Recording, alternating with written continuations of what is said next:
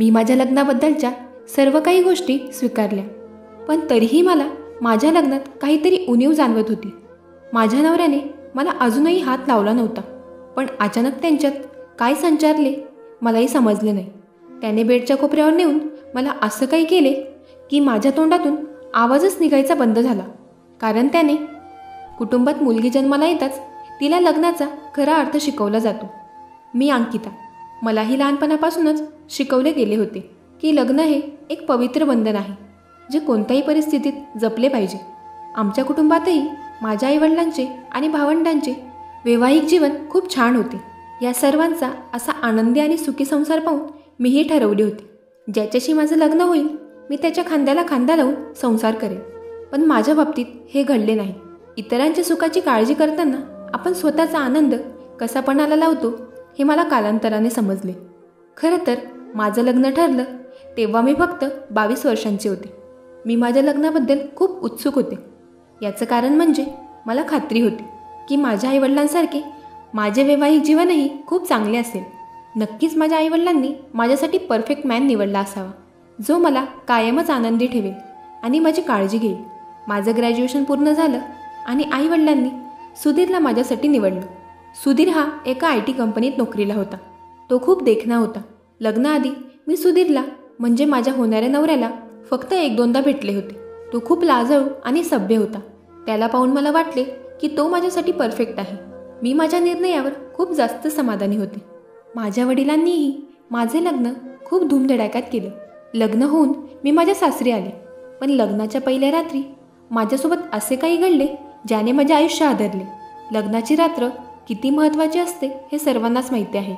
तशी तर मीही खूप घाबरले होते. पण हा अनुभव अविस्मरणीय बनवण्यासाठी मी स्वतःला तयार केले होते. सुधीर रूममध्ये आला. माझ्या शेजारी येऊन तो बसला आणि काही मिनिटे त्याने माझ्याशी छान गप्पा मारल्या. त्यानंतर तो बाथरूममध्ये गेला. पंधरा मिनिटांनी तो परत आला आणि म्हणाला मी खूप थकलोय. आणि असं सांगून त्याने बोलणं संपवलं आणि तो माझ्याकडे पाठ फिरून झोपी गेला. मलाही वाटलं की लग्नाच्या धावपळीमुळे थकवा आला असावा. त्यामुळे मीही फारशी प्रतिक्रिया दिली नाही. आता माझ्या लग्नाला एक आठवडा पूर्ण झाला होता आणि सुधीरने मला अजून हातही लावला नव्हता. मला काहीसे अस्वस्थ वाटत होते पण मला पुढाकार घ्यायचा नव्हता कारण मी पण खूप लाजळू होते. तसे तर माझा नवरा एक अतिशय सभ्य व्यक्ती होता पण एक गोष्ट मला वारंवार खटकत होती. ती म्हणजे सुधीर रात्र झाली की माझ्यापासून दूर जाण्याचा प्रयत्न करायचा. बाथरूममध्ये जाऊन परत यायचा. आणि आला की झोपून जायचा. नेमका त्याला माझ्यासोबत शारीरिक संबंध ठेवण्यात रस का नव्हता ते मला काही कळत नव्हतं. इतकंच नाही तर जसजसे दिवस निघू लागले तसतसे त्याचे हे वागणे मला जाणवू लागले. मी विचार करू लागले की हा बाथरूममध्ये जाऊन असं नेमकं काय करतो की आला की झोपी जातो. मला हळूहळू समजू लागलं की तो माझ्या नवऱ्यापेक्षा माझा मित्र होणं पसंत करतोय. महिन्यावर महिने जात होते पण अजूनही आमच्यात नव्या जोडप्यासारखी भावना नव्हती. मला तर आता असं वाटू लागलं होतं की लग्न करून ते सांभाळणे ही सुधीरची मजबुरी झाली आहे. पण मी सुधीरकडे कधीच तक्रार केली नाही. याचे कारण म्हणजे तो अतिशय दयाळू आणि प्रेमळ व्यक्ती होता. मला त्याच्यासोबत काहीच अडचण नव्हती. तो माझ्या सर्व गरजा पूर्ण करायचा. पण तरीही माझ्या लग्नात काहीतरी कमी असल्याचं मला सतत जाणवायचं. एकदा मीच पुढाकार घेऊन फिजिकल होण्याचा प्रयत्न केला. पण तो लगेच बाथरूममध्ये गेला आणि नेहमीप्रमाणे बाथरूममधून आल्यावर झोपी गेला. आता आमच्या लग्नाला एक वर्ष उलटून गेले आणि आमच्यात एका छोट्याशा मुद्द्यावरून भांडण झाले जे खरोखर गंभीर वादात बदलले. माझ्या मनात खूप राग होता. मग त्या रागाच्या भरात मीही बोलले की मी नवऱ्यासाठी तरसत आहे जो मला कधीच मिळाला नाही. मी हे शब्द बोलताच सुधीर गप्प झाला आणि बेडच्या काठावर जाऊन बसला आणि तो रडू लागला.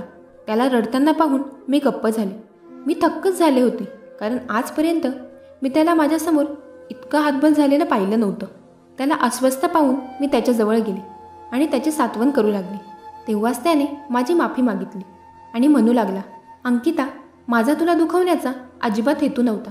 आज मला तुला एक गुपित सांगायचं आहे. की मला स्त्रिया आवडत नाहीत. मी समलिंगी आहे. हे ऐकताच माझ्या तोंडातून आवाज निघायचा बंद झाला आणि मी थरथरत माझ्या जागीच उभी राहिले. मला काहीच समजत नव्हते. मी पुन्हा सुधीरला विचारले तू समलिंगी आहेस? मग त्याने माझ्याकडे पाहिले आणि म्हणाला हो म्हणूनच आपली जवळीक व्हायला लागली की मी तुझ्या या गरजा पूर्ण नाही करू शकत अशा विचाराने बाथरूममध्ये जाऊन रडायचो आणि बाथरूममधून येऊन लगेच झोपायचो जेणेकरून माझा रडका आवाज तुला येणार नाही. मी विचार करत होते की माझं लग्न फक्त एक दिखावा होतं. मी अथरुणावर शांतपणे झोपले आणि वास्तव्यापासून सुटण्यासाठी झोपण्याचा प्रयत्न करत होते. पण हे स्वप्न नाही हे मला चांगलंच माहीत होतं. माझ्या नवऱ्याला पुरुष आवडतात. मला हे कोणत्याही परिस्थितीत स्वीकारावे लागले. पण या सगळ्यात माझ्या स्वतःच्या आनंदाचं काय? त्यावेळी मला काहीच सुचत नव्हतं. मी स्वतःच्या सुखाची पर्वा न करता आयुष्यभर सुधीरशी लग्नाचं ढोंग करून राहायचं ठरवलं. दुसऱ्या दिवशी सकाळी मी काहीच न बोलता घरातली कामं आवरत होती. तेव्हा अचानकच सुधीर किचनमध्ये आला. माझी फसवणूक केल्याबद्दल त्याने पुन्हा माझी माफी मागितली की मला सर्व काही सांगायचे होते. परंतु विवाहित जीवनात गुंतल्यानंतर मी स्वतःला बदलू शकेल असे मला वाटले. पण असे झाले नाही. पण तू माझ्यासोबत राहून तुझं आयुष्य खराब करू नकोस. तुला तुझं आयुष्य जगण्याचा अधिकार आहे आणि मला तुला नेहमी खुश बघायचं आहे. तेव्हा आम्ही ठरवले की असेच आयुष्यभर चालू शकत नाही. कुठल्या ना कुठल्या निष्कर्षापर्यंत पोचावेच लागेल. मग काही दिवसातच आम्ही घटस्फोटासाठी अर्ज केला. त्यामुळे आमच्या कुटुंबातील संबंध बिघडले. पण माझं आणि सुधीरचं मित्र म्हणून नातं खूप घट्ट झालं. मी त्याला समजून घेतलं आणि त्याच्या भावनांची कदर केली. सुधीरची इच्छा होती की मला असा मुलगा मिळावा ज्याच्यासोबत मी सदैव आनंदी राहील. पुढच्या काही दिवसातच आमचा डिवोर्स झाला. आम्ही दुःखी आणि अपूर्ण वैवाहिक जीवनात राहण्यापेक्षा त्या बंधनातून मुक्त होणे खूप गरजेचे होते. पण आम्ही समाजाचा विचार न करता स्वतःच्या सुखाचा विचार केला. याचा आनंद आहे. खरे सांगायचे तर आज मी माझ्या आयुष्यात खूप आनंदी आहे. आणि सुधीरही त्याच्या आयुष्यात खुश आहे. आणि आजही आम्ही एक चांगले मित्र आहोत. मंडळी कधीकधी आपल्या आयुष्यात अशा गोष्टी घडतात की त्याचा विचार आपण कधी स्वप्नातही केलेला नसतो. पण आपण आपल्या आयुष्यातले निर्णय कोणत्या आधारावर घेतो यावर आपले सुख व समाधान अवलंबून असते. दरवेळेस चुकीचेच घडेल असे नाही. पण अशा गोष्टींना सामोरे जाऊन आपल्या आयुष्याची गाडी हाकत राहणे यालाच तर जीवन म्हणतात. मंडळी तुम्हाला जर आमचं काम आवडत असेल तर व्हिडिओला लाईक आणि चॅनेलला सबस्क्राईब करा. ऐकत रहा मनाचे बोल.